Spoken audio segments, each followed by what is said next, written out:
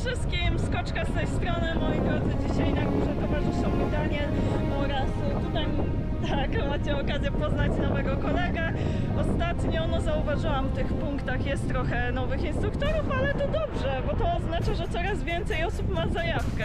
Pokażę Wam widok na dół, to jest takie coś, nie jest to jakoś wybitnie wysoko, 70 metrów. Ogólnie chciałam dzisiaj zaprosić jedną moją koleżankę, ale e, no nie, jeszcze się nie zdecydowała. W każdym razie Albina, pozdrawiam Cię. Uwierz mi, że w ogóle jak się skacze w tandemie, to jest bardziej lajtowo i naprawdę zapraszam Cię do skoku ze mną. Jeżeli chodzi o widoki, to jest takie coś. Proszę bardzo.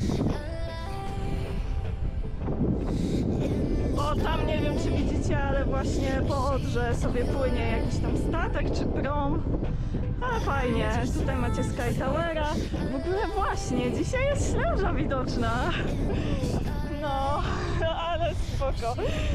Nie no, myślę, że nie będzie aż takie trudne. Ja się dzisiaj ogólnie nastawiałam, że w sumie nie wiem, myślałam nad jakąś tam jedną techniką, ale dzisiaj tak średnio jest możliwość wykonania jej, zresztą też trochę wieje, więc więc no, więc Standardowy skok. standardowy skok przodem. Nie no, myślę, że nie będzie aż tak strasznie. Mi się zawsze wydaje, że tu będzie nie wiadomo jakie przyspieszenia, a dynamika tak naprawdę wychodzi dosyć lightowo. Czy jeszcze kogoś pozdrawiam? Mojego brata Przemka. No, teraz jeszcze czekam aż ten podmuch wiatru trochę przeminie, o ile to się stanie i no, dobra, próbujemy. O, trzymasz się sobie ręką. Dobra, pomału. Co, weź głęboki wdech, ja odliczę, a i przechylasz się mocno, okej? No. No to lecimy, śmiało. Trzy, dwa,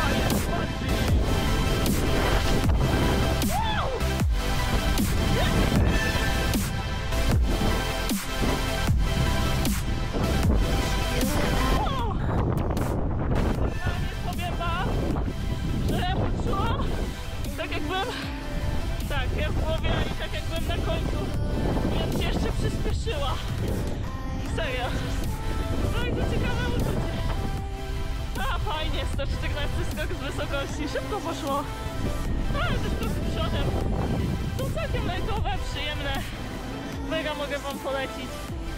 Jak widzicie, ja z dużą chęcią je wykonuję.